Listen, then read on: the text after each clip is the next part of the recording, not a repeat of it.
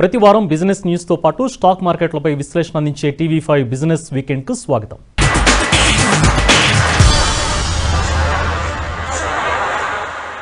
ఈ వారం స్టాక్ మార్కెట్లు సరికొత్త రికార్డులను క్రియేట్ చేశాయి. బుధవారం నాడు ఆల్ టైమ్ హైని టచ్ చేసిన ప్రధాన సూచీలు శుక్రవారం నాటి క్లోజింగ్లోనూ మరింత జోరును చూపించాయి. భారీ లాభాలతో ముగిసిన సెన్సెక్స్ నిఫ్టీలు సరికొత్త జీవనకాల గరిష్ట స్థాయిలను నమోదు చేశాయి. ఒక్క వారంలోనే సెన్సెక్స్ నిఫ్టీలు దాదాపు మూడు శాతం మేర లాభపడి ఇన్వెస్టర్లకు కాసులు కురిపించాయి.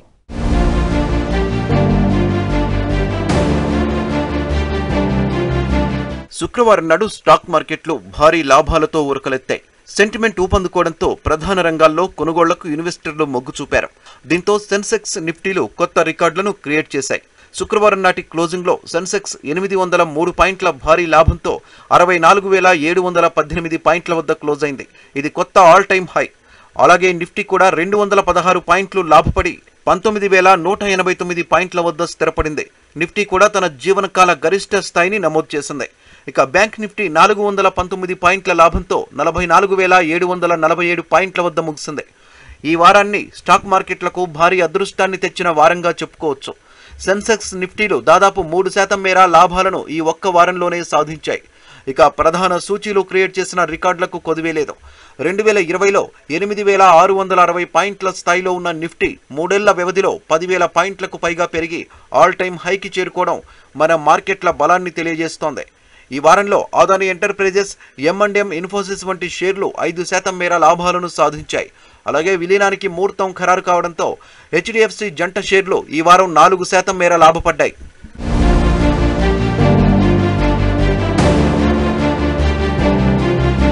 ఎటకెలకు హెచ్డిఎఫ్సి బ్యాంకులో హెచ్డిఎఫ్సి విలీనానికి ముహూర్తం ఖరారైంది. ఈ రెండు దిగ్గజ కంపెనీల విలీనం ఈ రోజు నుంచి అమలులోకి వస్తుందని హెచ్డిఎఫ్సి చైర్మన్ దీపక్ పరేఖ్ ప్రకటించారు.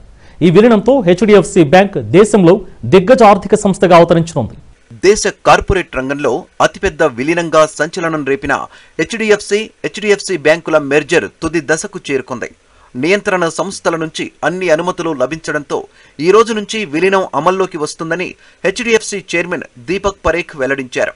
దీనికి సంబంధించి ఇప్పటికే ఇరు కంపెనీల బోర్డులు విడివిడిగా సమావేశమయ్యాయి. హెచ్డిఎఫ్సి బ్యాంక్లో హెచ్డిఎఫ్సి విలీనం అనంతరం హెచ్డిఎఫ్సి షేర్ల డీలిస్టింగ్ ప్రక్రియ ఈ నెల పదమూడు పద్నాలుగు పదిహేడో తేదీ నుంచి అమల్లోకి రానుంది. ఇక అక్కడి నుంచి హెచ్డిఎఫ్సి షేర్లు హెచ్డిఎఫ్సి బ్యాంక్ షేర్లుగా ట్రేడ్ కానున్నాయి. ఈ విషయంలో స్టాక్ ఎక్స్చేంజీలు ఇంకా ఎటువంటి ప్రకటన చేయలేదు. స్టాక్స్ ఎక్స్చేంజీలు నిర్ణయం మేరకు ఆ తేదీని ఖరారు చేయనున్నారు.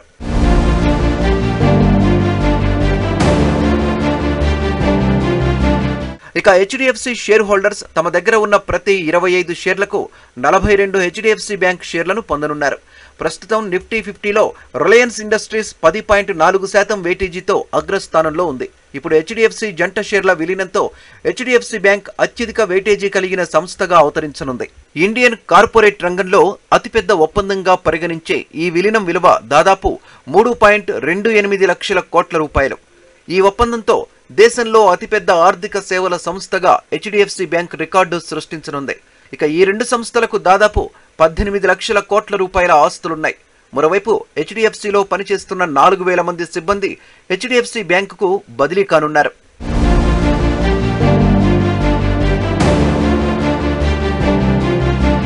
అంకుర సంస్థలను అనుసంధానించేందుకు వాటికి సహాయ సహకారాలు అందించేందుకు ఇండియా స్టార్టప్ ఫౌండేషన్ సరికొత్త కార్యక్రమాలకు రూపకల్పన చేస్తోంది. ఇందులో భాగంగా ఆగస్టు పది నుంచి పన్నెండవ తేదీ వరకు ఇండియా స్టార్టప్ ఫెస్టివల్ రెండు వేల ఇరవై మూడును బెంగళూరులో నిర్వహిస్తోంది. ఈ ఫెస్టివల్కు సంబంధించిన కర్టెన్ రైజర్ కార్యక్రమం హైదరాబాద్లోని టీ హబ్లో ఘనంగా జరిగింది. పలువురు స్టార్టప్ వ్యవస్థాపకులు ఔత్సాహిక పారిశ్రామికవేత్తలు పెట్టుబడిదారులు ఈ కార్యక్రమంలో ఉత్సాహంగా పాల్గొన్నారు. ఈ సందర్భంగా India startup foundation T hub T Hyderabad హైసియాలతో పాటు పలు అవగాహన ఒప్పందాలను కుదుర్చుకుంది. స్టార్టప్ కమ్యూనిటీలను ప్రోత్సహించి అవసరమైన సదుపాయాలు కల్పించి వారిలోని సామర్థ్యాన్ని వెలికి తీసేందుకు కృషి చేస్తున్నామని India startup festival chairperson J Chowdary అన్నారు. ఇండియా స్టార్టప్ ఫౌండేషన్ ఒక ప్రోగ్రామ్ ఇక్కడ జ- జరిపింది అంటే curtain raiser programme. Main conference is there in Bengaluru. August tenth eleventh twelfth. దానికి ఈరోజు కట్టన్ రేజు. ఇలాంటిదే మన బెంగళూరులో కూడా చేసాము కానీ బెంగళూరులో చేసిన దానికంటే ఇక్కడ నెంబర్ ఆఫ్ కంపెనీస్ ఎక్కువ వచ్చాయి. బెంగళూరులో ఫైవ్ హండ్రెడ్ స్టార్టప్స్ వచ్చాయి. ఇక్కడ మోర్ దాన్ థౌజండ్ వచ్చేసరికి మేము స్టాప్ చేసేసాము. అంటే మన Hyderabad is also picking up in the startup activities is really a very good phenomena for for Telangana state and Telugu Telugu స్టేట్స్కి India startup festival curtain raiser ఈరోజు ఇక్కడ. So ఇది last year బెంగళూరులో చేశారు. So next event is in August so it is really an outstanding collective effort J J J Chowdary garu completely volunteer led so approximately hundred plus investors ఉన్నారు plus close to thousand startups so good luck to the startups and kudos and congratulations to India startup festival movement ISF is a great initiative అండి. Primarily you know ఇప్పుడు కొంచెం environment స్లోగా ఉన్నా కూడా startup environment overall మన కంట్రీలో it's very vibrant startups jobs create చేస్తాయి you know wealth create చేస్తాయి but also they contribute to GDP so స్టార్టప్స్కి అవసరం ఏంటంటే apart from capital investors capital mentorship and customer access so ISF J A గారు and you know his entire team taking up this initiative you know it's very very good thing ప్రముఖ sanitary ware తయారీ సంస్థ ఎస్కో తన కొత్త ఉత్పత్తులను మార్కెట్లో అందుబాటులోకి తీసుకొచ్చింది. Hyderabad Madhapur Parvathanagar Srikrishna sanitary and hardware షోరూమ్ను ఎస్కో by Jaquar షోరూమ్ను సూర్య ఇంటర్నేషనల్ ఎండి హరినాథ్ బాబు ప్రారంభించారు. ఈ కార్యక్రమంలో Jaquar AP Telangana branch head Abhijit Singh పాల్గొన్నారు. సామాన్య మధ్యతరగతి ప్రజలకు అందుబాటు ధరలలో ఎస్కో కంపెనీకి చెందిన శానిటరీ వేర్ బాత్వేర్ గీజర్లు ఇతర ఉపకరణాలను తీసుకొచ్చామని సూర్య ఇంటర్నేషనల్ ఎండి హరినాథ్ బాబు తెలిపారు. ప్రపంచంలో వందకు పైగా దేశాలకు ఎస్కో కంపెనీ తన శానిటరీ వేర్ ఉత్పత్తులను ఎగుమతి చేస్తోందన్నారు. రియల్ ఎస్టేట్ రంగం శరవేగంగా అభివృద్ధి చెందుతున్న హైదరాబాద్లో ఎస్కో శానిటరీ వేర్కు మంచి ఆదరణ లభిస్తుందని జాక్వార్ ప్రతినిధులు వెల్లడించారు. ఈ శ్రీకృష్ణ వారు దినేష్ గారు కానీ వారి బ్రదర్స్ కానీ గత పదమూడు సంవత్సరాలుగా ఇక్కడ వ్యాపారం చేస్తున్నారు. అయితే వారి కస్టమర్స్కి మరింత క్వాలిటీ ప్రోడక్ట్స్ ఇవ్వాలనే ఉద్దేశంతో ఎస్కో షోరూమ్ చేయడం జరిగింది. ఎస్కో అనగానే జాగ్వార్ అనుబంధ సంస్థ. అంటే జాగ్వార్ తర్వాత వచ్చిందండి ఎస్కో ముందుంది. సుమారు ఎస్కో అరవై మూడు సంవత్సరాల నుంచి ఇండియన్ మార్కెట్లో ఉంది. ఇది ఇండియన్ ఎంఎన్సీ కంపెనీ. ఈ కొత్త షోరూంలో మీకు ఎస్కో రేంజ్ అన్నీ డిస్ప్లే చేయడం జరిగింది.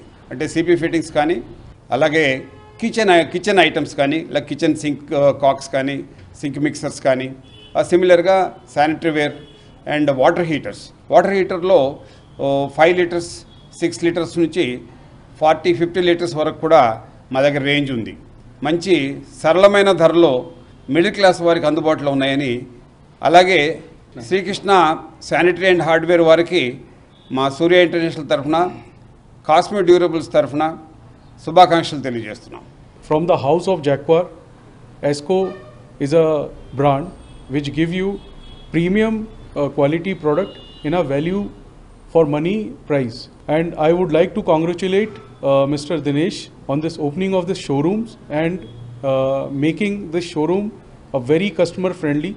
I would like to call upon all the uh, uh, customers to visit this showroom and experience the bathing fixtures which is having complete faucet range sanitary ware geysers as well as cisterns.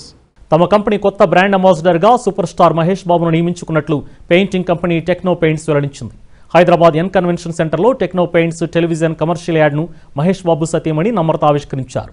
ఇరవై రెండేళ్ళ ప్రస్థానంలో వినియోగదారులకు నాణ్యమైన పెయింట్స్ను అందించడంలో విజయవంతమయ్యామని fortune group founder Akuri Srinivasa Reddy అన్నారు. తెలుగు రాష్ట్రాలలో పన్నెండు వేల కోట్ల రూపాయలుగా ఉన్న పెయింటింగ్ సెక్టార్లో ఇరవై ఐదు శాతం వాటాను సాధించడమే లక్ష్యంగా పెట్టుకున్నట్లు శ్రీనివాసరెడ్డి తెలిపారు. ఈ ఆపర్చునిటీని దృష్టిలో పెట్టుకుని రీటైల్కి వెళ్ళాలంటే మేము ఒక పెద్ద super star super star Mahesh Babu గారు లాంటి పర్సన్ తీసుకొని మేము పాన్ ఇండియా అంతా కూడా మార్కెటింగ్ చేయబోతున్నాం బ్రాండింగ్ అండ్ మార్కెటింగ్ చేసుకుంటూ. పాన్ ఇండియాలోనే టాప్ పెయింట్స్ కంపెనీస్లో ఒక కంపెనీగా మేము డెవలప్ చేసుకోవడానికి సూపర్ స్టార్ మహేష్ బాబు గారి ఇమేజ్ బాగా మాకు ఉపయోగపడుతుంది. I would like to wish the whole team of Techno Paints all the very best and uh, hope you reach greater heights and um, all the best. Let's let's launch your TVC. Business business వీకెండ్కు తిరిగి స్వాగతం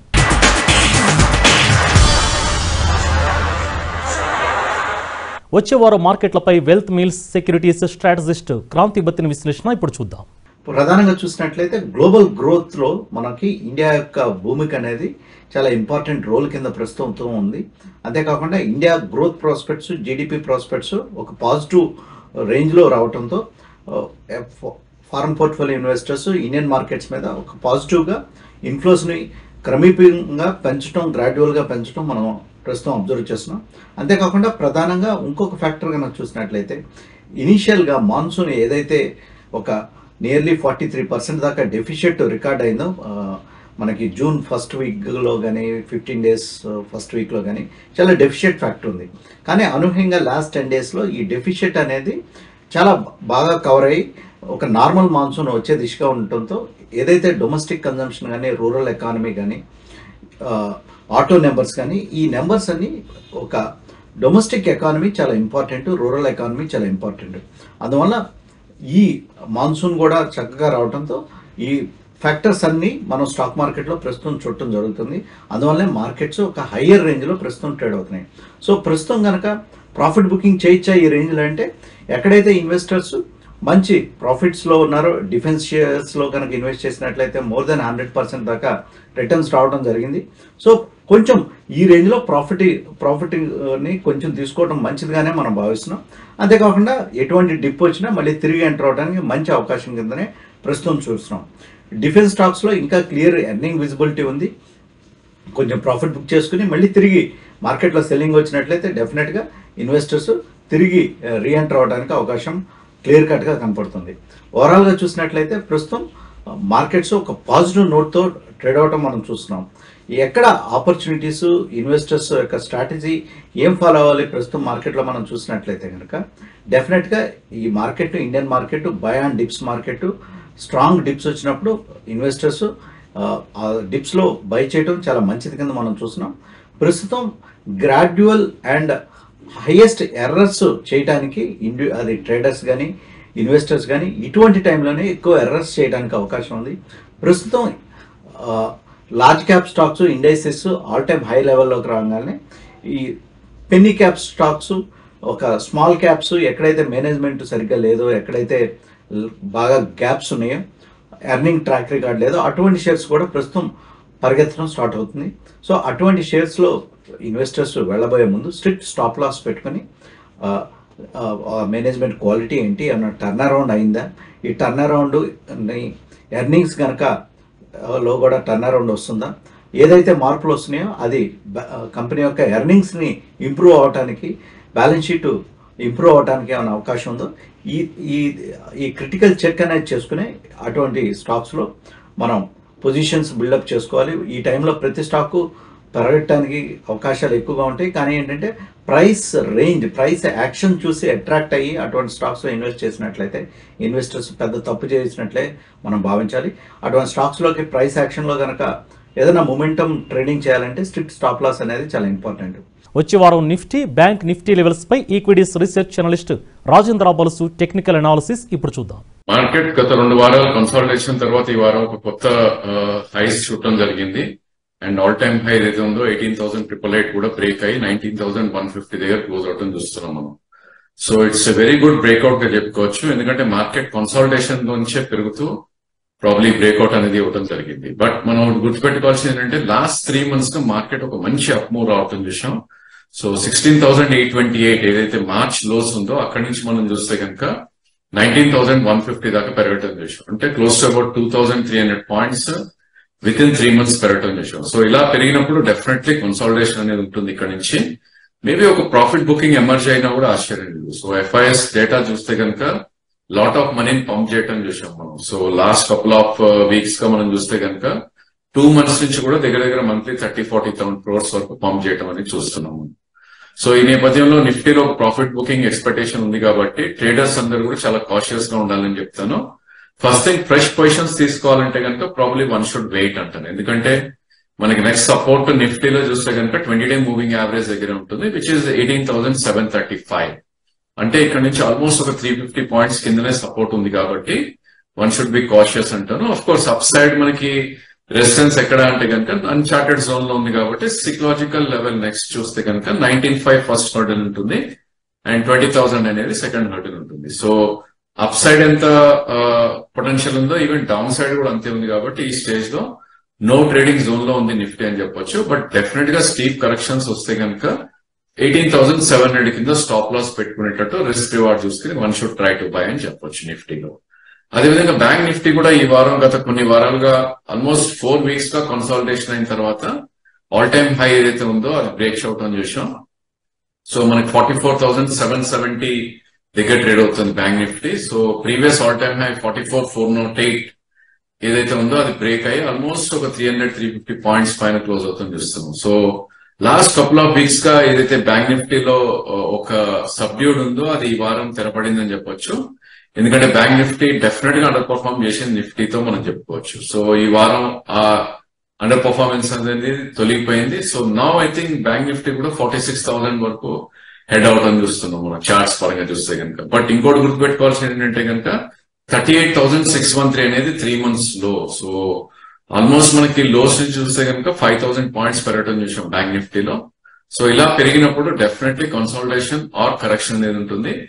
so first thing ఎక్కడైతే profits ఉన్నాయో అవి at least thirty forty percent of the స్టాక్స్లో or ఇండస్ట్రీస్లో book చేసుకుంటే it's a good idea అని అంటాను. అండ్ సెకండ్ థింగ్ ఎక్కడైతే ప్రాఫిట్స్ ఉన్నాయో వాటిని లాస్లో కన్వర్ట్ కాకుండా చూసుకోవడం ఇట్స్ ఎ బిగ్ ఛాలెంజ్ ఈ టైంలో ఎందుకంటే ప్రొటెక్టివ్ స్టాప్ అనేది చాలా ఇంపార్టెంట్ అయిపోతుంది. సో మనం గతంలో కూడా చూసినాం almost eighteen thousand six hundred దాకా వెళ్ళింది Nifty sixteen thousand eight hundred seventeen thousand కూడా మనం లో రావటం చూసాం సో ఈ నేపథ్యంలో ప్రాబ్లీ ప్రాఫిట్ బుకింగ్ కూడా ఇట్స్ ఎ గుడ్ ఐడియా అని అంటాను. ఆర్ ప్రొటెక్టివ్ స్టాప్ అనేది కంపల్సరీగా పెట్టుకోవాలి. సో ఓవరాల్ బుల్లి సెటప్ ఉంది. Party is going on in the market so enjoy the party అని చెప్తాను. బట్ డెఫినెట్గా పార్టీ స్టాప్ అయినప్పుడు ఒక section of clients or maybe profit booking వచ్చినప్పుడు one should try to be protective అని చెప్తాను. సో ప్రొటెక్టివ్ స్టాప్ లాస్ అనేది కంపల్సరీగా మస్ట్ ఇలాంటి టైంలో ఇది ఈ వారం టీవీ ఫైవ్ బిజినెస్ వీకెండ్ వచ్చే వారం మరిన్ని బిజినెస్ అప్డేట్స్తో మళ్ళీ కలుద్దాం.